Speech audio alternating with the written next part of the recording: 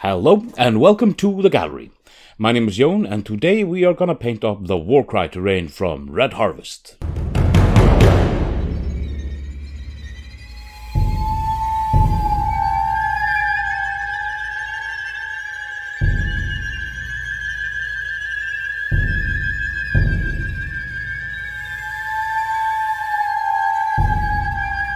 Warcry.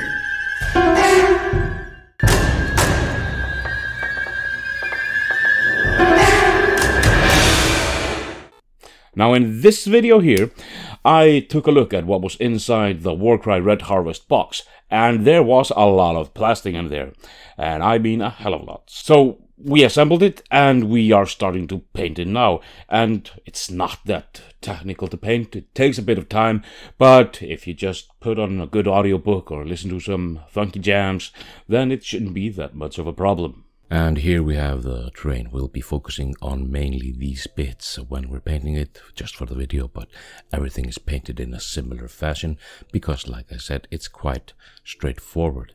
I'm using an airbrush now, but of course you could do this with a regular dry brush, a little bit of dry brushing from underneath or something like that. I'm starting out with a Corvus Black uh, base paint and then I'm just putting in a little bit of red, uh, black red from Vallejo underneath just to get a little bit of extra red tone to fit in with the gaming board. Also I'm airbrushing a little bit of red into the Varanite dust sludge thing that's in there and just spots here and there just to tie it in with the board, get this little bit red feeling going underneath because we will be dry brushing over it, but this will give us a tone to work with that's underneath all that dry brushing that we'll be doing. And most of this will be done with a dry brush, the, the wood and the stone. The metallics a little bit more different, but a dry brush is the main thing. We're starting out with a little bit of a khaki color just to get some depth to the stone. Keeping them quite dark because the board is quite dark. But we're using this khaki color on both the wood and the stone.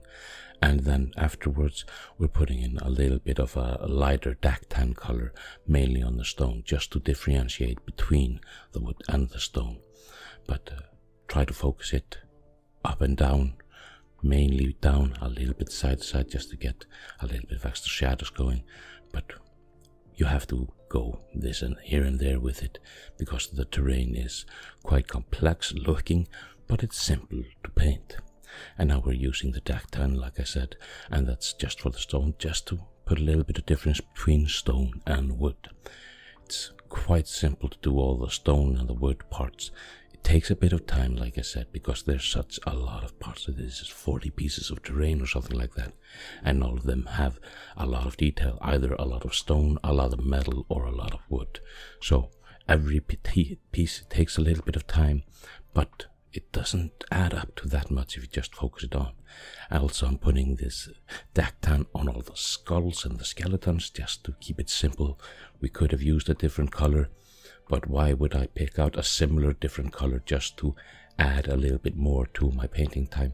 This is a board to play on, it's not a showstopper or anything like that.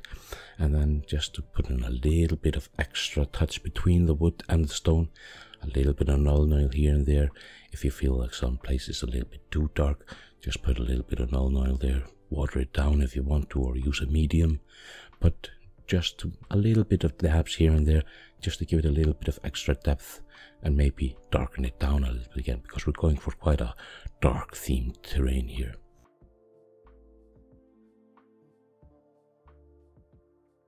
Now the metals are going to be a little bit different, although there is quite a lot more of the wood and the stone and the bone and everything like that. There's a lot more detail in the metals, so we're starting out with just blocking in the bigger colors, and it's okay if it's a little bit slapdash if the undertone shows a little bit through because that is black with maybe a little bit of hint of red or brown or something to it. And then we have to go with a finer brush and hit all those little brackets here and there those hinges and on the bigger drain pieces that's quite a lot of metal that you have to paint. A lot of struts a lot of different bolts and nuts and whatever. But uh, I'm using uh, the Leadbelcher Citadel paint. It's a nice, easygoing paint. I've thinned it down a little bit with uh, some uh, medium and or airbrush, uh, airbrush uh, medium, just to have it flow a little bit better. And then it's basically just brushing it on all the places where it needs to go, and that's a lot of places where it needs to go. Also for gold, I'm using gold, uh, an airbrush gold from Vallejo. It's a little bit thin, so the undertone shows quite a lot through. I had to go in, in a few places. I had to put uh, two, maybe three coats to get a somewhat decent look to it because it was showing a little bit too much of the undercoat. But that's fine. It's a nice gold color. It's it's a little bit more dull than many of the Citadel gold colors, and that's why I used it. As you can see, it's quite thin there, but hey, maybe I should have sh shooken it better. Maybe it's just better through the airbrush. I don't know, but I will test it later on. And then my favorite thing to make all the metals look a little bit older, I mix Basilicanum Grey and contrast medium together 50-50 and I brush it over all the silver bits. It's okay if it goes a little bit into the red and all the gold bits. And maybe not have it go too much overboard. We don't want it on all the brown colors that we already put down the brown khaki colors. But there's a lot of bits to go over. And if you miss one, you will notice it because the other ones are all dulled and darkened and look a little bit old and worn. And the other ones will look really, really shiny. So it's easy to go over it afterwards. But and like I said, this is of course you could use Nuln Oil or whatever you want, or Agrax or shit. This is a theme I like. It makes it a little bit more beaten and weathered without feeling rusty or something like that. But rusty is of course perfectly viable for this.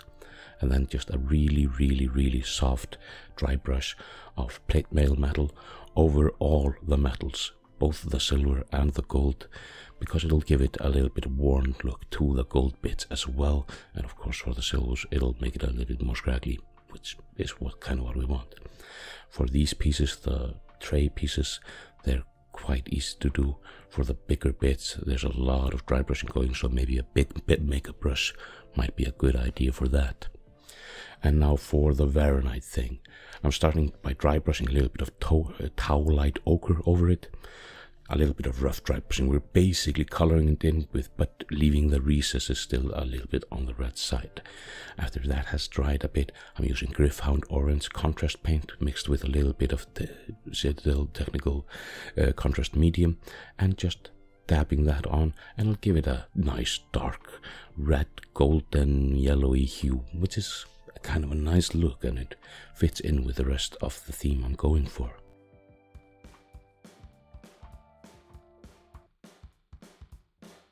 And here we have the terrain pieces. As you can see, they are a little bit muted, but I think it's a strong look on the table because that is quite powerful and it looks good on it. It looks worn and it looks old. And these methods, you can use them for whatever terrain you want if you want a grim dark terrain. These methods, both for 40k, AOS, this or whatever, these methods are quick and they're simple and they do work and they look, well, halfway decent at least.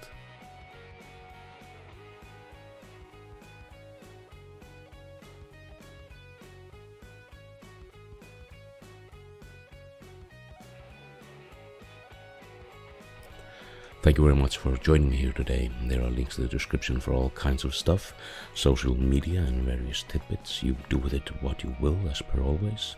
Like, share and subscribe, hit that notification bell type thing, and let the colors flow. But until next time, farewell.